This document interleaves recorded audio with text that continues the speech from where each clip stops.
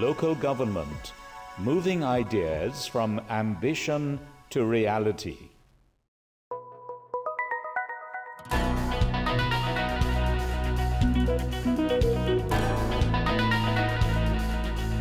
Local government is changing. With over 1,000 projects in train around the country, we are changing the face of your communities.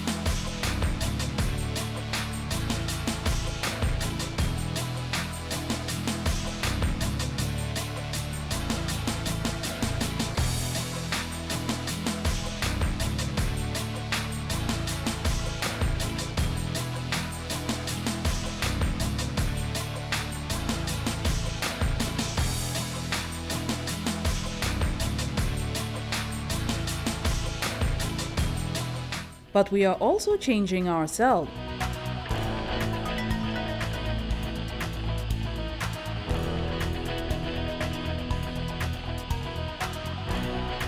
The Ministry of Local Government launched its policy on local government transformation and modernization in December of 2012.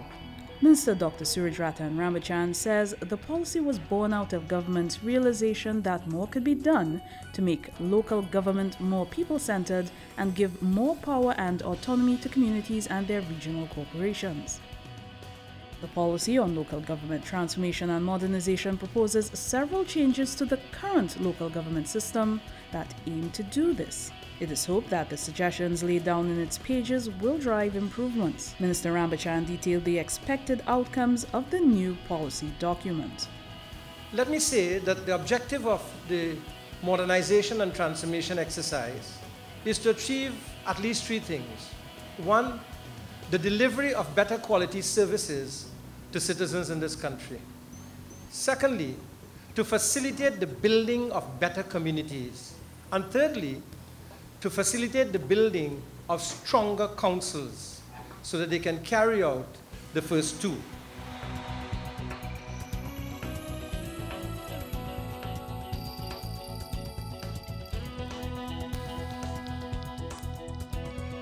There was a report done in June 2010 on the readiness of local government for the delivery of exceptional services.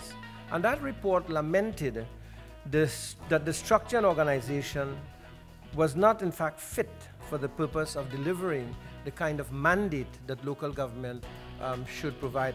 As the provision of high quality services is critical to the proper functioning of local government, the Transformation and Modernization Policy aims to tackle chronic deficiencies in that system's human resources, finances, and infrastructure. At the first public consultation on the policy in San Fernando, Prime Minister Kamla Persad Bissessar listed some of these deficiencies and she also invited attendees to give some thought as to whether the policy document addresses them adequately. Consider also, as Mr. Rambachan has already pointed out, the best structure for regional cooperation. We have a structure now. Is it the best? Do we need to improve on it? Do we need to change it? How do we change it? What should be the framework? What should be the architecture for a regional corporation? Your views, your recommendations, your suggestions, on the issue of increasing the financial and human resources available to local government practitioners and authorities. So that is something you may want to consider. The human resource capacity of every regional corporation is already currently being enhanced to provide better public service. The sourcing of 147 litter wardens has already begun. Meanwhile, municipal police are to be given more teeth Municipal police already play an important ceremonial role at the corporations. The transformation and modernization policy suggests ways that their role can be developed further. The scope of their responsibilities, the document suggests, uh, should be broadened to include domestic violence, juvenile delinquency, drug detection, and summary offenses. Public health officials are not to be left out. A memorandum of understanding between COSTAATT and the local government ministry will create 50 scholarships for public health officers. Communication between the ministry and regional corporations has also been strengthened as ICT capabilities are introduced. Currently, several corporations are networked for teleconferencing with the goal of having all equipped with teleconferencing capability within the coming financial year. The introduction of project management software will also allow stakeholders to see the completion rate of each and every project around the country. The idea behind these and other improvements suggested in the transformation and policy document is to involve the population in having decision making power and oversight. This will ensure better quality and efficiency. In terms of infrastructure, the policy addresses the need for town halls to be constructed in each regional corporation. New administrative complexes are earmarked for Arima and Penal. Outfitting for Chaguanas should be completed by January of next year. But what would the buildings be without the people who staff them?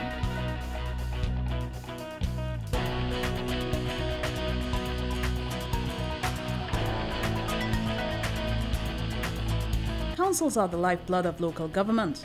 Without the people who make up the staff of the ministry and the regional corporations, little could be accomplished. It has been acknowledged that at times, service delivery is slow. We want to change that. We want to make sure that people get a satisfactory level of service and that people's problems are addressed.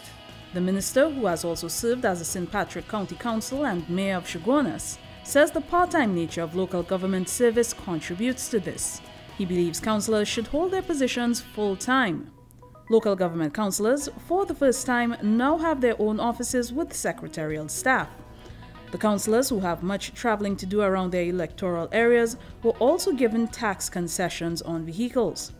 As part of local government reform, the Transformation and Modernization Policy also advocates full-time employment with related salaries for councillors. In fact, local government is real people government and it cannot be done on a part-time basis. If, if they are inadequately paid, very inadequately paid, the issue of money and finances extends well beyond the individual councillors themselves, as there has always been contention between central and local government over the disbursement of funds. The Transformation and Modernization Policy document touches on the issue, citing the need for reform of financial process for more equitable distribution of resources to districts. Such a formula, if arrived at, would curtail, if not eliminate, the recurring claim of partisan bias or discrimination in funding ostensibly by the local government bodies which are controlled by political party or parties that differ from those at the center. In fact, the focal point of the transformation policy is less and not more control from the center. The document advocates the devolution model of local government and outlines steps that will be taken to provide local government with more protection under the Constitution.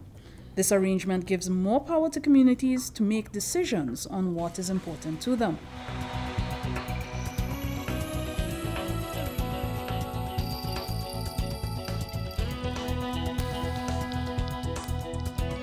An essential part of taking government back to the people is giving them a voice in it. Minister Rambachan believes local government is community democracy at work. Now is a time for us to do more. Now is the time for us to go out there and to listen to the people, to the stakeholders, to the community leaders, who will have great ideas also as to what can be done in order to transform and modernize local government. Transformation of a community driven form of government can only happen with consultation with the communities. Therefore, local government is coming to you, the public, to hear what you have to say. Over the course of the next few months, several stakeholder meetings are planned for venues across the country to give Burgesses a chance to air their views on how local government matters should be handled in the future. Consultations have already come to several communities across the country. Consultation process is expected to result in a white paper which will be taken to Cabinet. Transformation and modernization of local government will be a complex task requiring collaboration and work to bring it to fruition. However, the stage is now set with the policy document to forge ahead. Now it's time for you to tell us what you think about it. The right to recall of councillors. And this is something is critical, it's serious. After all is said and done, we want to have better quality of life in our city, our towns, our communities. Whatever is, we, we finally put here, Minister, we would like to see changes for the better.